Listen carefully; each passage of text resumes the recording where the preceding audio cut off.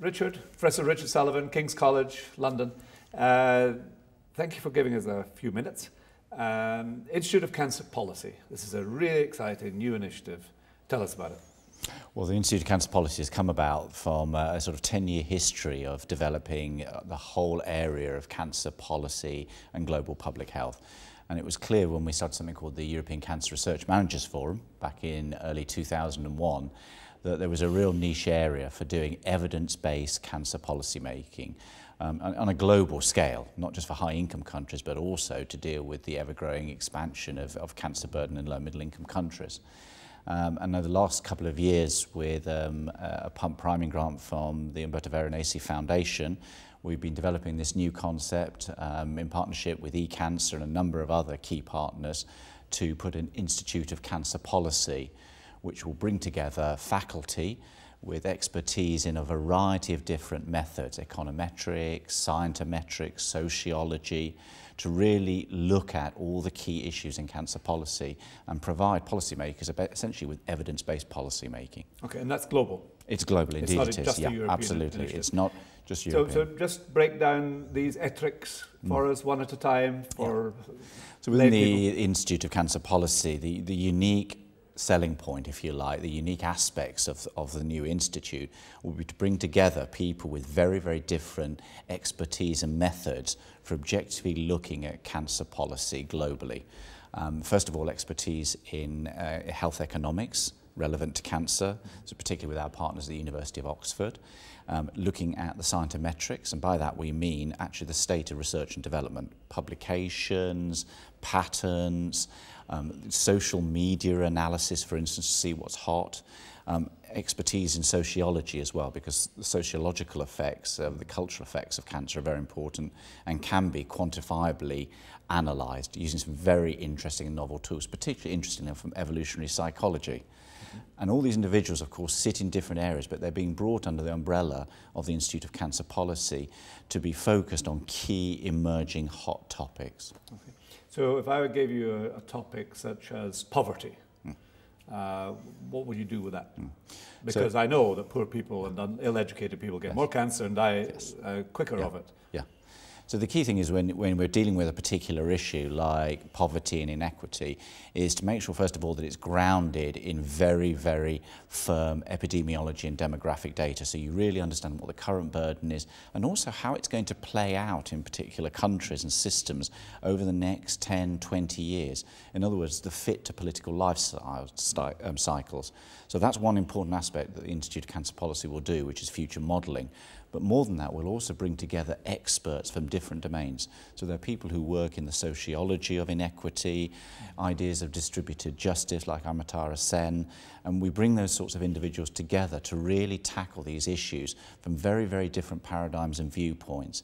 And it's by bringing together this expertise that you can provide policymakers with very, very rich, deep dive intelligence and policy making. And solutions? Absolutely. I mean, the key with all this is solutions. However, having said that, what the Institute of Cancer Policy isn't going to be doing is advocacy. At the end of the day, advocacy and actually driving forward change is about political prioritisation. And that rightly belongs in the domain of individual countries, patient organisations, professional bodies who are there to make the political prioritisation decisions around cancer policy making. And in a sense, what the Institute of Cancer Policy does is provide them with the necessary framework and intelligence to make those sorts of evidence-based prioritisation decisions. Now, you're uh, um, basking in the, the, the, glory of the Lancet uh, uh, tome, which many of us contributed to, on, uh, on sort of the, the, the well-off countries and, and the costs of cancer care. Um, presumably there's not a lot of money around to pay for a similar sort of a, a study in, in low-income countries or emerging countries, mm. and yet they have to be a target for you. Absolutely. I mean, one of the most critical issues at the moment we're dealing with is, is the general economic burden of cancer. Um, after the Lancet Oncology Commission, we're now working on a very high resolution piece of work to look at um, the cancer economic burden in EU27. So that's both direct healthcare costs, but also informal costs, mortality loss and morbidity. And the difference with this study is, of course, we're, we're doing it in much higher resolution and we're not censoring for, for aging populations, etc. Now, there's a lot of data that's been put out in the public domain on the economic burden in low and middle income countries, particularly emerging economies. Most of it is wrong because the problem is they haven't been able to quantify the out-of-pocket expenses. Yeah. And in the global economic burden, they account for something between 60 and 80% of expenditure. So there's a real need actually now, particularly in the emerging economies, South Africa, Brazil, India, China, to start putting this sort of research in place to look at the economic burden in these countries, because that's absolutely key for policymakers, Treasury.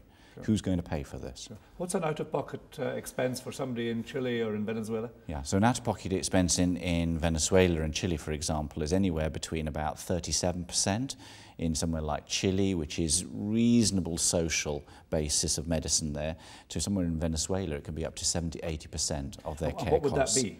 So that's actually having to, to pay directly to the hospital, mm -hmm. to the surgeon for their radiotherapy, and particularly for their, for their drugs.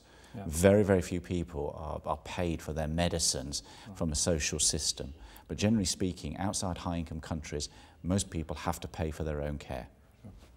And uh, you mentioned uh, the, the developments in Africa, and you've just been to Africa lately, and there's a, a real enthusiasm there for yeah. taking up this sort of uh, methodology.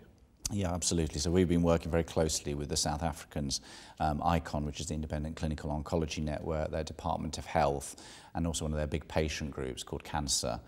Um, the South Africans are going through a huge revolution in their, in their healthcare system. They're creating a much more NHS social healthcare system, and alongside that, a completely new cancer plan. And they're quite clear as an emerging economy that they have a lot of structural issues within the country and what they're looking for is partners to help them frame and also develop the intelligence for what they need to do in terms of putting forward a national cancer plan which is going to have real teeth and more importantly they're going to actually be able to deliver affordable cancer care. Yeah. You know, this is a country where we're talking quadruple disease burden here across all age cohorts and across all socio-economic systems and classes. So cancer is not the only fruit here. They're still dealing with HIV AIDS and infectious disease and maternal mortality. So the system has to be really, really cost effective for it to work. And you were mentioning that, uh, that the other African states are now looking more to South Africa mm. for leadership. Yeah, one of the things is I think I think it was clear when you when you're thinking about the sort of the culture of, of policy making, global public health and cancer, that people like to feel empowered, that it's not something that's being imposed to them from high income countries. And to be frank, actually, the, the trajectory we've had in our healthcare systems for cancer in high income countries, all we can really teach other emerging economies is the failures, really, where we've got it wrong. We have very few successes to really export.